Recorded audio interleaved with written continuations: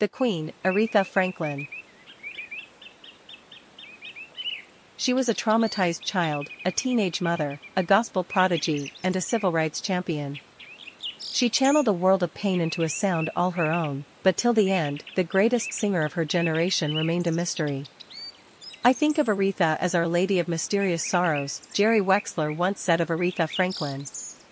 Wexler was the Atlantic Records producer who, in 1967, helped raise the singer to her sudden and incomparable soul heights. Her eyes are incredible, luminous eyes covering inexplicable pain. Her depressions could be as deep as the dark sea. I don't pretend to know the sources of her anguish, but anguish surrounds Aretha as surely as the glory of her musical aura. Those doleful eyes were sometimes mistaken for shyness. That was how a group of white musicians viewed her in a first meeting at Fame Studios in Muscle Shoals, Alabama, on January 24, 1967. Wexler thought the exploding Southern style of soul would bring out the best in the 24-year-old Aretha's still under-recognized artistry, even though she'd been making records since 1956. These were experienced session men, most had played with Wilson Pickett at Wexler's behest. Aretha didn't enter fame with a reputation as a soul singer, and she certainly wasn't overbearing, as some thought Pickett could be. And just suddenly, said famed songwriter Dan Penn, she walks over to the piano, she sits down at the piano stool, and I'm watching her. She kinda looks around, like, nobody's watching me. I thought she thought for just a second, is this not my session? And with all the talent she had, she just hit this unknown chord. Kind of kawunka kawunka kawung, like a bell ringing. And every musician in the room stopped what they were doing, went to their guitars, and started tuning up. That day and night would end up as the most eventful in Aretha Franklin's career, an unprecedented musical triumph and a near-terminal disaster. Franklin would later have little to say about the events. But then, she often proved reticent over the years. Yet others recalled Franklin as anything but timid. Mavis Staples, who had toured with her during their teen gospel years, thought Franklin was in fact inclined to devilment out of the public eye, one time she hid behind the tree with a baseball bat to knock her own sister on the head. Aretha was tough.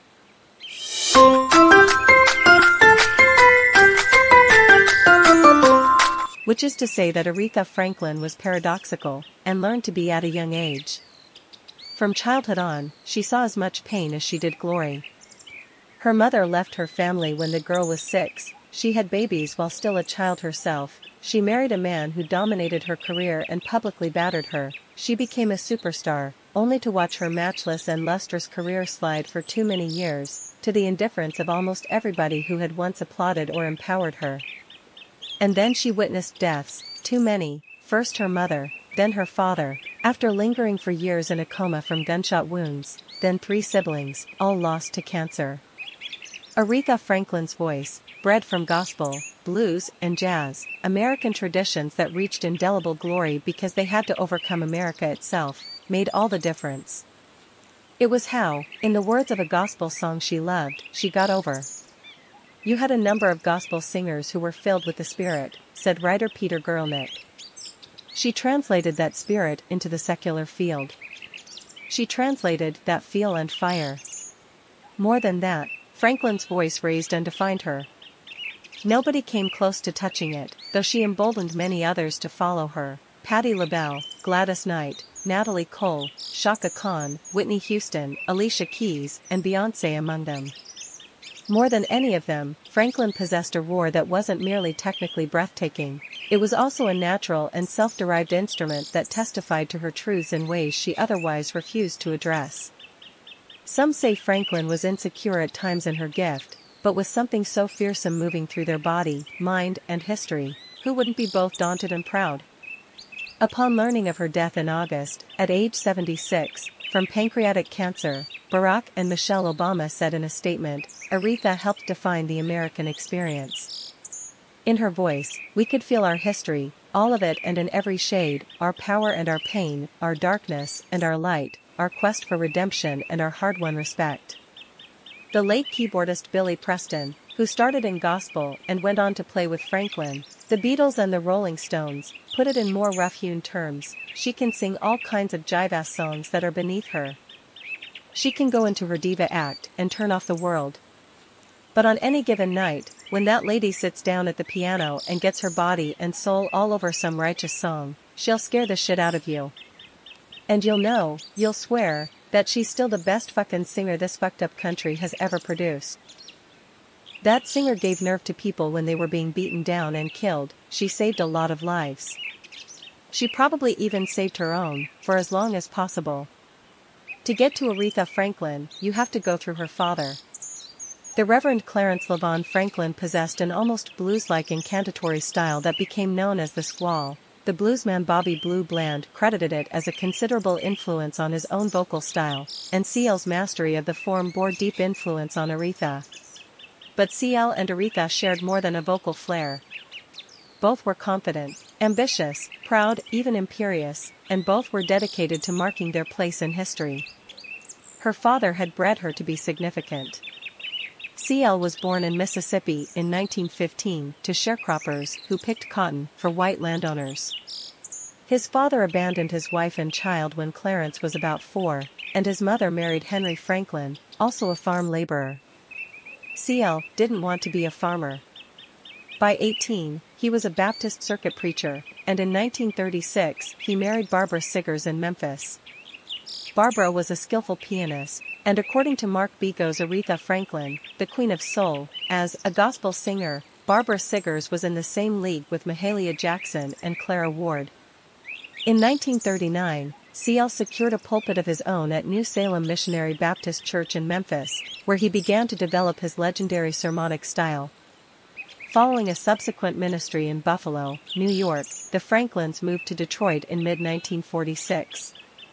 The new Bethel Baptist Church had issued a calling, it wanted CL to become its new pastor.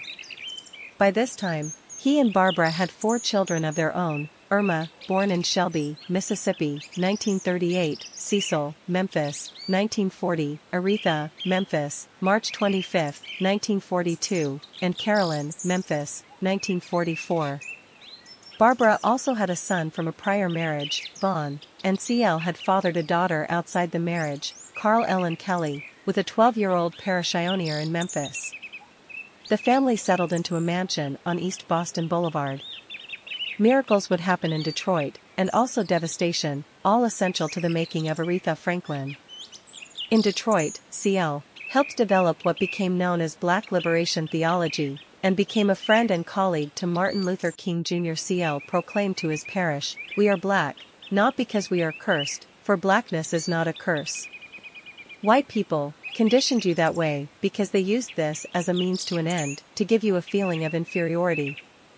Aretha absorbed all this, and those implicit meanings would underlie much of what she would sing and how she would sing it.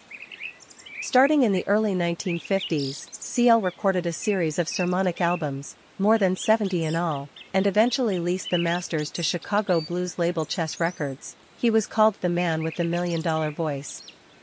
CL was adamant in his faith, but he was also worldly. He dressed in flashy suits and drove Cadillacs. Rumors attached to him, one involved gospel singer Clara Ward, with whom CL had an on and off years long affair. Two years into the grand new life in Detroit, Barbara abruptly packed up and, accompanied by her son Vaughn, moved back to Buffalo. Irma told biographer David Ritz in Respect, The Life of Aretha Franklin, I do know that my parents' relationship was stormy, and that my father had a violent temper.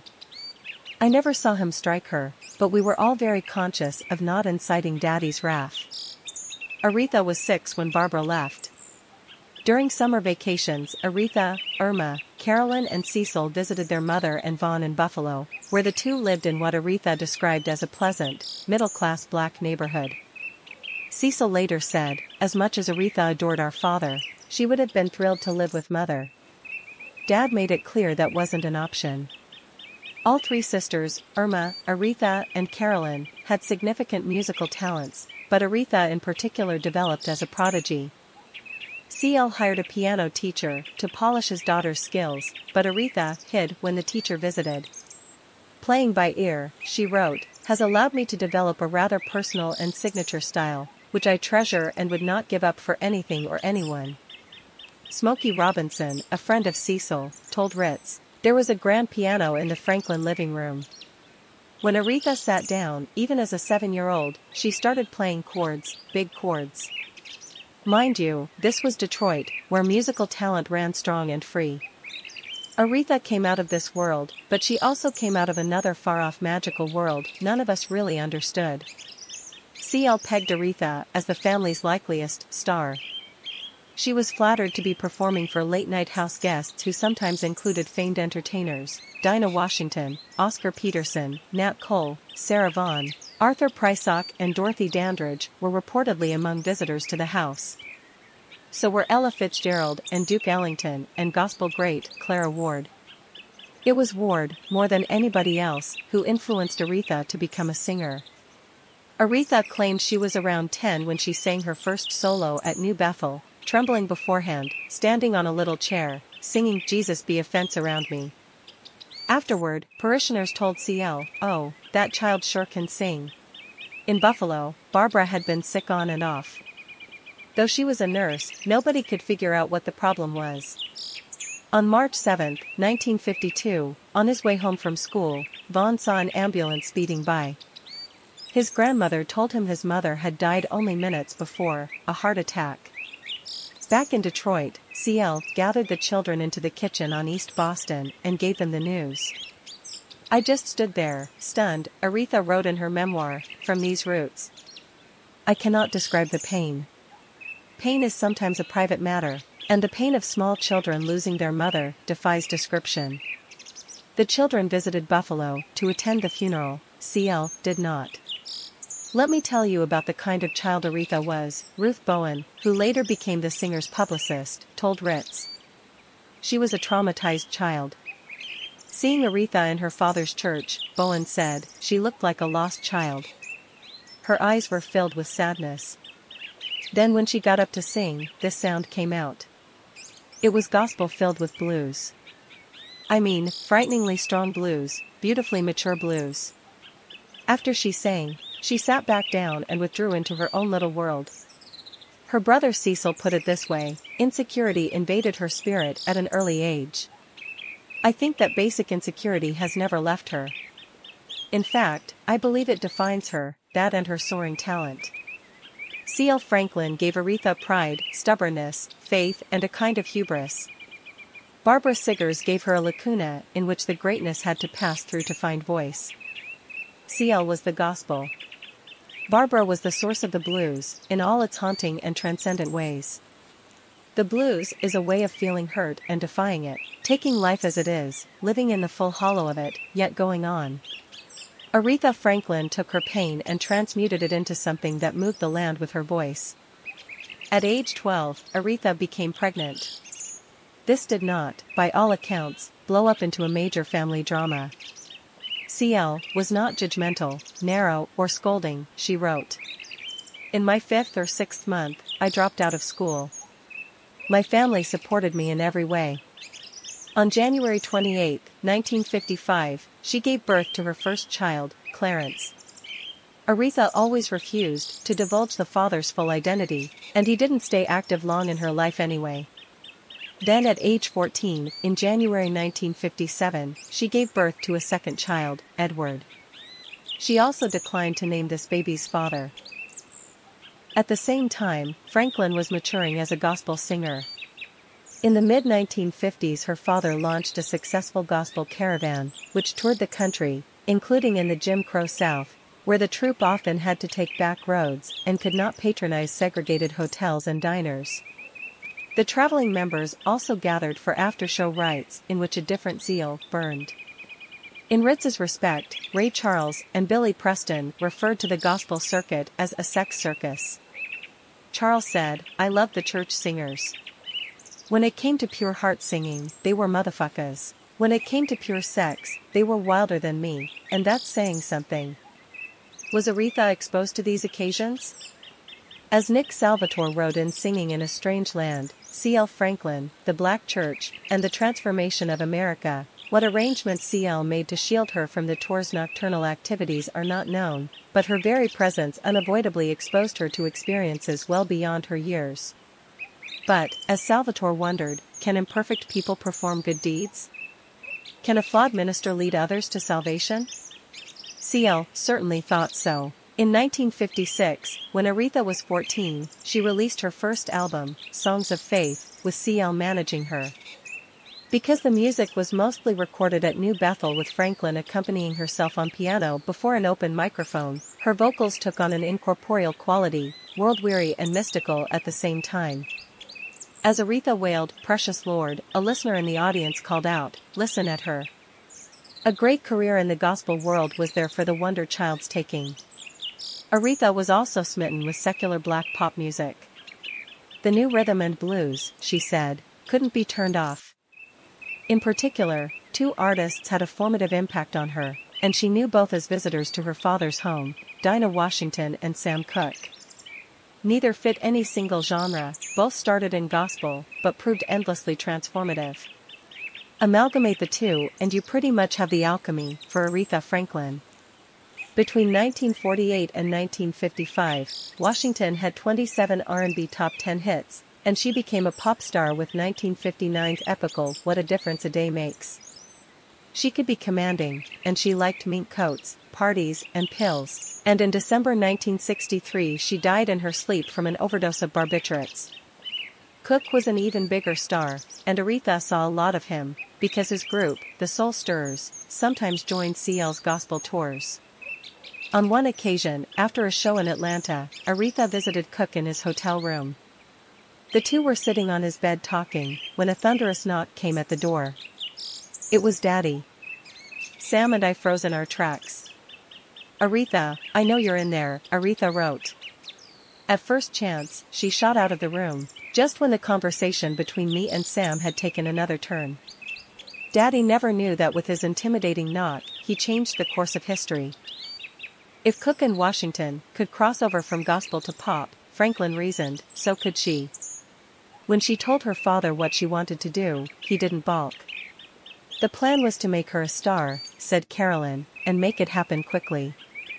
Motown founder Berry Gordy and his songwriting partner Billy Davis wanted to sign Aretha. Everything that she sang was with such emotion that you felt every word, said Davis. She had just terrific control over her expressions. CL, though, thought that Gordy and Davis's ambitions were too local. To hit the big time, they decided that Aretha should move to New York, where she initially lived in cheap hotels.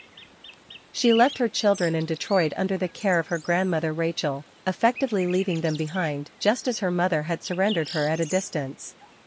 She was 18. She and CL hired a new manager, Joe King. In early 1960, King introduced CL to Phil Moore, an arranger and jazz pianist. Moore sat down with Aretha at the piano, and they played a few songs. Then he turned to CL and made the most prescient statement anybody ever made about Aretha Franklin, your daughter, does not require my services. Her style has already been developed. Her style is in place. It is a unique style that, in my professional opinion, requires no alteration.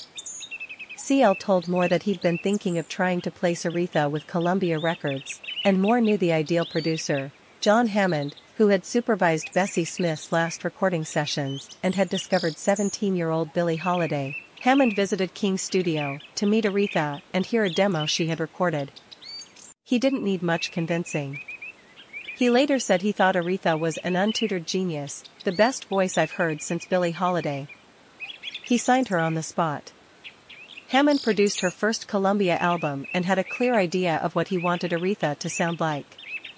My vision for Aretha had nothing to do with rhythm and blues, he said. I saw her as a jazz slash blues artist. The singer's Columbia debut, Aretha, with the Ray Bryant combo, was released in late February 1961. She was 18. If the intent had been to cast Franklin for an audience that appreciated Lena Horne, Carmen McRae, and Nancy Wilson, Franklin instead arrived with a distinctive edge. The single Won't Be Long, which peaked at number 7 on the R&B chart, worked as a précis for her later resplendence. Franklin performed it in her first national TV appearance, on The Steve Allen Show, and there she was, all the greatness already in place, as apparent as it would ever be. She hit the song off with big gospel chords on piano and sang with a witty, rousing, vocal majesty, in the last minute roaring startlingly. It was around this time that Aretha met the man who, other than C.L. Franklin and Jerry Wexler, would prove the most significant figure in her career, for good and bad. Ted White would recall meeting Franklin at a club in Detroit, the 20 Grand. Her sister Irma had been talking to him around that time. She also told me, Aretha wrote, he considered me among the most beautiful women in the world. White dominated Franklin's career, and schooled her in how to present herself in public. Franklin refused to discuss White much in later years, though in From These Roots, she wrote, I didn't realize I was in way over my head. Ted White was a take charge kind of guy. Aretha's brother Cecil said that their father knew Ted was something of a shady character, and he thought the association would hurt Aretha. Motown producer Harvey Fuqua told Ritz, anyone who didn't see Ted White as a straight-up pimp had to be deaf, dumb, and blind. It took someone that slick to get a great talent like Aretha in his stable. Within six months of their first date, Aretha and White married. CL was bitterly opposed to the whole deal, he counted White as an enemy. In pop criticism, it became accepted wisdom that, with the exception of Unforgettable, a tribute to Dinah Washington, from February 1964, Franklin's Columbia years were miscast by both the singer and the label. In truth, the Columbia recordings were rife with songs of heartbreak and rapture, sung in a voice that even then was untouchable. But none of Franklin's Columbia albums were hits, and their mix of styles, show tunes, torch songs, blues, standards, novelties, pop and quasi R&B, didn't fit any easily identifiable demographic of listeners. It wasn't really me, Franklin said later.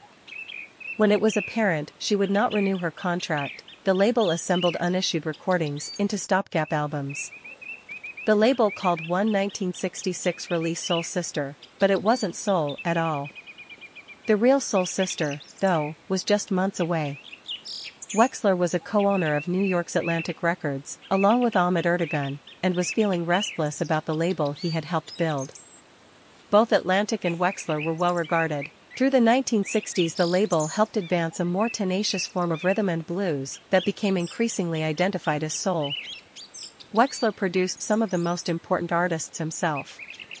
In 1966, he was in a recording session in Muscle Shoals, trying to stop a fight between Wilson Pickett and Percy Sledge, when he got a phone call from a friend, a gospel DJ, who told him, Aretha's ready for you.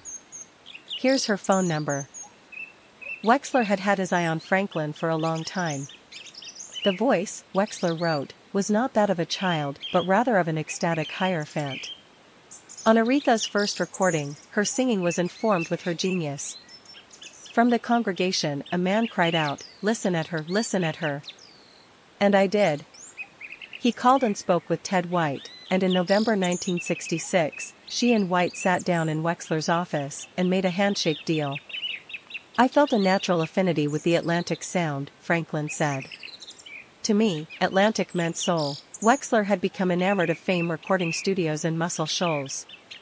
It was owned and run by producer Rick Hall, who used sidemen whom Wexler admired, keyboardist Barry Beckett, bassist David Hood, drummer Roger Hawkins, and guitarist Jimmy Johnson. They were occasionally augmented by prominent session musicians like organist and pianist Spooner Oldham and guitarist Dan Penn, all of them white. Fame, Wexler decided, was where he would record Franklin's first music for Atlantic. White wasn't convinced. The Ku Klux Klan was active near Muscle Shoals, and still is. But Wexler insisted, and he met White and Franklin at Fame on January 24, 1967. The day that Franklin recorded in Muscle Shoals proved the most momentous in her history, it blasted open her future, then fell into a nightmare. Wexler played the musicians a demo of I Never Loved a Man, The Way I Love You, a song by White's friend Ronnie Shannon. At first, the band didn't know what to do with it. The song didn't have a specific meter, really, said Oldham. It was Oldham who turned it around. He sat down at a Wurlitzer electric piano and devised a new voicing, an odd slant of chords and cadence, to open the song. Spooner's got it.